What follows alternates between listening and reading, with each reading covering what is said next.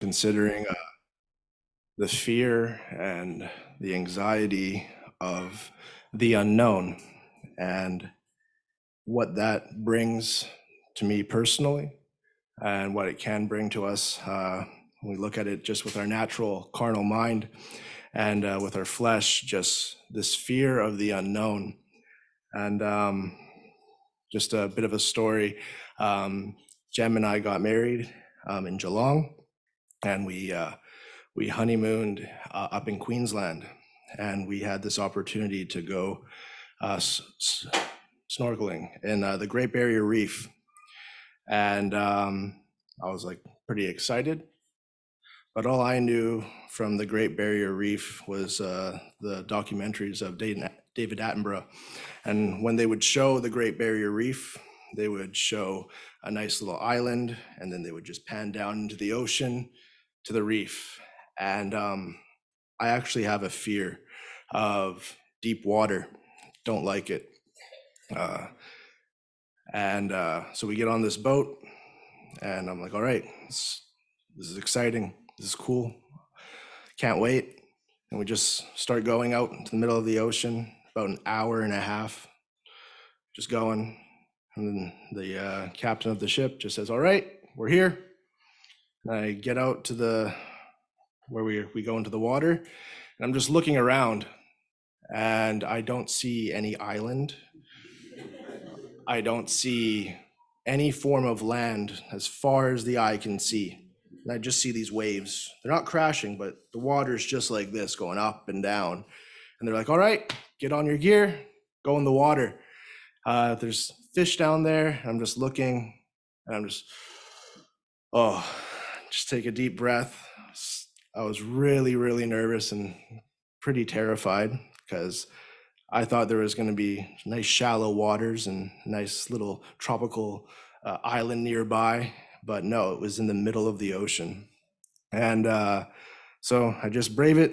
I go- in. It's not too bad. Um, I'm just looking down, and it's like maybe about just three meters deep, and there's a reef, and there's all these beautiful fish. And I'm like, okay, that's this isn't bad. I can deal with this. This is all good. I have Gemma nearby. It's all good. And um, I just look to my left though, and all I see is just deep, dark blue. And I'm just like, if I see some random silhouette of this giant fish, I think I'm just gonna have a heart attack and die right here, right now. Um, but just just in saying that, um, my fear that I have with deep water is the fact that I have no idea what's underneath me. Or when I looked out into the deep ocean, I had no idea what was there. And my mind just starts going. There could be a shark, there could be some deep sea creature that we haven't heard of because we've only discovered 5% of the ocean. And so my mind just goes there, starts building up this anxiety and the stress. And it can be like that with our life, with whatever we're going through. If it's just what tomorrow brings, we have no idea what tomorrow brings. We can have an idea, we can have a plan, but these unknown factors can go into our lives. And it can bring this fear and this anxiety and this, this doubt and even pain where it can just be completely crippling and you just can't do anything. And there's people that can just stay inside and just, I don't want to deal with anything because I don't want to have to deal with these unknown factors that life has to give. And um, that's what they have to deal with in the world. This this darkness. That's another fear that people have is is darkness, and it's because you can't see what's going on around you. And ironically, with the fear of being alone in in the dark, is actually to not be alone in the dark because you don't know what's there. And if you're just sitting alone and you hear noises and your mind just starts playing all these things again, creature, whatever, um, it can just build up that anxiety and that fear. And people in this world that aren't saved are walking in this unknown darkness. And uh, it's a sad, sad thing. And there's, praise the Lord, though, that we have the answer. Praise the Lord that we've been brought into the light. But if we can start reading in Psalm 107 and just starting in verse 10. Such as sit in darkness and in the shadow of death, being bound in affliction and iron, because they rebelled against the words of God and condemned, uh, contemned to the counsel of the Most High. Therefore, he brought down their heart with labor. They fell down, and there was none to help. Then they cried unto the Lord in their trouble, and he saved them out of their, their distresses. He brought them out of the darkness and the shadow of death, and brake their brands in sunder. Oh, that men would praise the Lord for his goodness and for his wonderful works to the children of men. And we've been brought out of this darkness where we felt like we were chained down. We didn't know what was going on. We had this fear, this un, uh, we were have had these things that we weren't expect, expecting going on in our lives, and it can just easily just bring this this anxiety and this this this doubt and being nervous.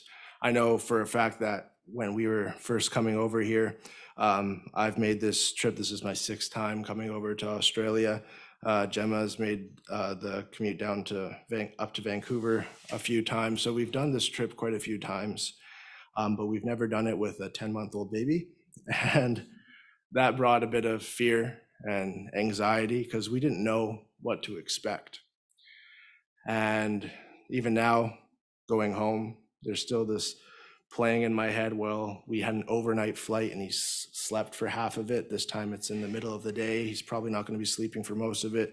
And I can build up this anxiety, but I could easily just keep on working myself up in the flesh. But if I just look at putting on the mind of Christ and what the Lord has and the promises that he has, I don't have to deal with the the silliness of these these thoughts. If we can turn to Galatians 6.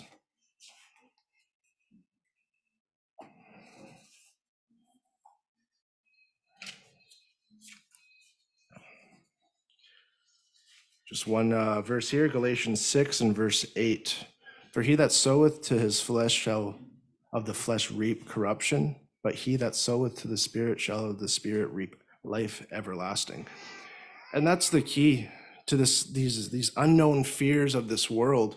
If we're going to just play into our our mind and let our mind run loose and just build up this fear, build up this fear of these unknown things that we could be afraid of, that we can just uh, get ourselves all anxious about. Of course, it's actually even going to probably be worse than what the actual unknown thing is, because your mind is evil. Your mind does these things where it just makes things worse for you.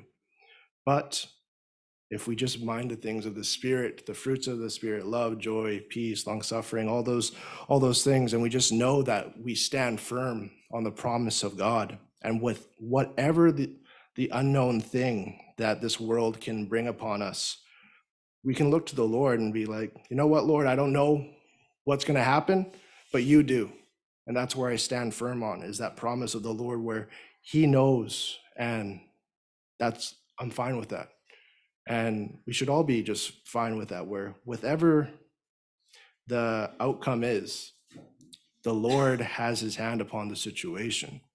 And if we can go to Psalm 27, just to finish.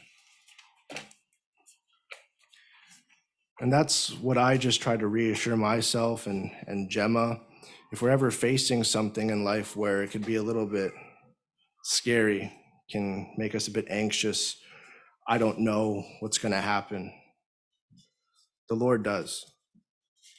And we just put our promises in the Lord. We put our life in the Lord's hands. And then He just takes care of it. And there's blessing.